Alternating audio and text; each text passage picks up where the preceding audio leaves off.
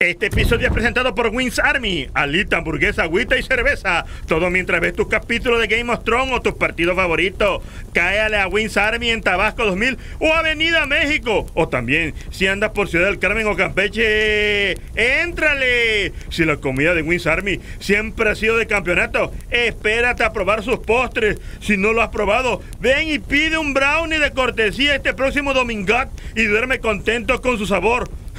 Solamente menciona que viste este video.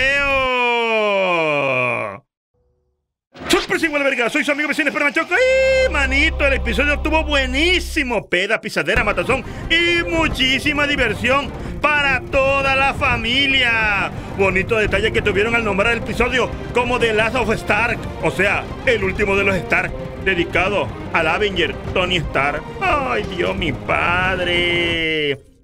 Todo comienza tipo. ¿Qué pasó ayer? Donde Sam es el gordito chistoso, Tormund es el bebedor alocao y así, pero en versión triste, porque ya amaneció y se murieron los malos. Vemos también que se murieron montones de buenos, entre ellos Llora Mormón y Tion. Meros buenos eran que se murieron. Y ya vemos que realmente es un velorio. Y John Nieve da un discurso acá, mamalón de los chingones que eran todos estos. pero que se murieron, pues. Y ya. A quemar muerto de a madre. A Beric Dondarión. A Ed. La osita. Un momento. ¿Cómo está ahí la osita, el tuerto y Ed? Si ya eran zombies cuando mataron al rey malo, ¿no? ¿No deberían estar todos hechos cachitos? ¿Qué está pasando aquí? ¿Ah? ¿Y no era más fácil ponerlos a todos en un bonchao? ¡Y Dracari con el dragón! ¡Ah, valen madre! Más allá del sol, más allá del sol, yo tengo un lugar, un lugar más allá del sol. Ave María Purísima, sin pecado concebido por la señal de la Santa Cruz de nuestros enemigos.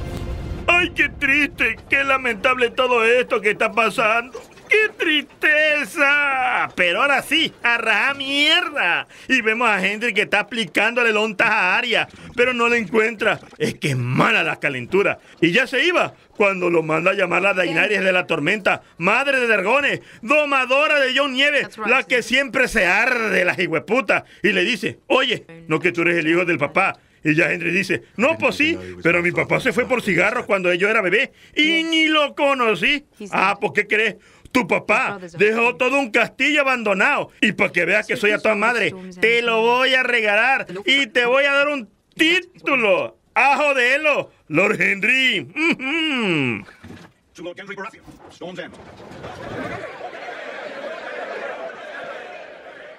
Y ya sigue la fiesta y estos diablos quieren empedar a las gigantonas. Es que son hambre. ¡Cuidado! Que en una de esas te echan yumbina, mamita. Y Tormo, ¿qué tantito quiere para agarrar el pedo? Vilo, vilo, vilo. Es malísimo el chelón este. Ya todos se llevan poca madre con John Nieve. Y la Calesi le comienza a dar no sé qué. Es que le corroe la envidia a la hijueputa. ¿Ve? Ay, la Bari. Y ya están jugando a la bebedera Jaime Tirón y la gigantona. Y en una de esas Tirón le dice, tú nunca has pisado, ¿verdad? Y que se ofende doña esta. Pinche tirón, típico borracho impertinente. Y hablando de, llega Tormund el chelón a aprovechar para ver si se puede pasarse a la pesa doña esta. Pero ay Dios, mi padre, se la quita Jaime. Maldecido mierda, eso no se hace. Ya hiciste llorar al chavo. Está todo deprimido. Destrozaron su corazoncito de pollo. Pero las nalguitas son las nalguitas. Y afuera está la fajadera en alta. Ay, sí, ay, sí. Mucho luto y duelo. No encerraron a los muertos, pero bien que van a enterrar yuca los demonios estos. Todo menos Henry, que no haya su forrito. Y ya al fin encuentra a Ari y le dice, ¿Cómo la ves, mami? Soy Lori y tengo castillo. Estoy enculadísimo contigo. Y tú dices, te doy anillo, casa, carro y un puesto de empanada allá en mi reino. Cásate conmigo, mamacita. Pero Aria le dice, pues estuvo todo muy rico, pero ha de ser que yo voy a lavarte los calzones y hacerte de comer. Yo no soy la señora de la casa. No te confundas, chavo. ¡Rao! Bien bateado. Un minuto de silencio por este soldado caído. ¡Ay, la bola! Mientras tanto, en el cuarto de Brienne, llega Jaime y en pocas palabras le dice, Mami, vamos a arreglar este asunto para que no se vuelva a burlar de ti, tirón. Ay, qué considerado. Y sobre a pisar. Y mientras tanto, en la alcoba real, la Dainari le dice a John que qué onda, si va a poder con la chamba o lo dejan para otro día. Y John está todo medio pedo, pero no se achica. De una vez, Ah, pero las mujeres nunca olvidan. Y antes que pasemos a algo más interesante, Dainari considera pertinente decirle a John que está pero bien pendejo por creerle a su hermano que a todas luces se nota que padece sus facultades mentales y que de todos modos ella es la reina. John le dice, sí pues, coño, pero vamos a darle mamita. Vamos a matar a los apuñaladas. Pero la Dainari sigue, es que tú ya te crees el rey. ¿Ves? Me estás dando órdenes júrame que no le vas a decir a nadie y dile a tu hermano que ya no hable. Díselo, John, díselo, John. El hoyón de carne que te quiere dar, mamita. Ella, John le dice, no te preocupes, mi vida. Mis hermanas son a toda madre y no le van a decir a nadie. Vas a tener que lavar esa prenda a mano. Bien bateado. Parte 2. Y ya todos comienzan a planear cómo le van a ir a partir su madre a la Cersei. Y todos deciden que lo mejor sería rodear la ciudad y pedirle así en buena onda que se rinda. Pero Sansa dice, oye, estamos cansados. ¿Qué tal si dejamos esto para la semana que viene, no? Y Dainari, que ya está hasta la madre de esta pinche chamaca, le dice: Mira, hijo tu re maldita madre que te rime el parió en un charco de leche. Vine desde casa de la chingada a partirme la madre hasta aquí, que está todo congelado y que se me murió un dragón un Stalker y como dos mil millones de soldados y súbditos. Me vale madre su cansancio. Vamos a pelear y ya. Y ya estaba Sansa de respondona, pero John le puso un tate quieta, puta. Yo soy el hombre de esta casa y yo mando, hijo de la ñonga. Sí, mi amor, lo que tú digas, mamacita chula. Ah, a mí se me hace que le dio todo lo H doña esta. Y ya Dainari dice, como dijo una sabia mujer, vas a resbalarte a otro otro rincón, pues este es mi hombre y yo su gran señora. Más perra ella. Y obvio, los hermanos le dicen a John que qué pedo, que está bien que esté enculado, pero somos tu familia, y la bola. Eres un Stark de la casa Tony Stark. No mames. Y ya John dice, ve, mi pecho no es bodega. Les tengo que decir algo, pero prométanme que no van a ir de zapa por ahí. Resulta que nuestro hermano no está idioto. Cuéntales, Bran. Tremendo dramón. Y tú decías que no es una novela esta madre. Y ya acá Jaime le dice a Tirón que se anda bombeando a la gigantona y que está poca madre. Y en eso aparece Bron Ay, güey, la verga. Invernalia es toda una fortaleza y Don Este se aparece de la nada. Ah, dice que no le piden gafete a la entrada. Ay, güey, puta. El caso es que viene y le dice, ve, si no me da un chingo de lana y un castillo más grande que el de Disney, ¡ja! te voy a matar a ti y a tu hermanito, güey, puta. Y pues sobre, le dicen que sí.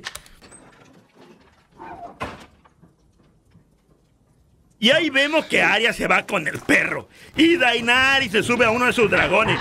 Mientras que el otro vemos que está todo desguanzado pero vivo. Y ya Tirón se está despidiendo de Sansa. Y a esta diantre la carcome la gana de contarle todo lo del secreto que le digo John. Y ahí va. Es que de zapa. Y acá John se despide de sus amigos. El gigante pelo rojo el lobo blanco ese, y el gordito Sam, no sin antes enterarse que Gilly, ¡ah! ¡Está preñada! ¡Hijo puta gordito! Todo un cemental el ñonga.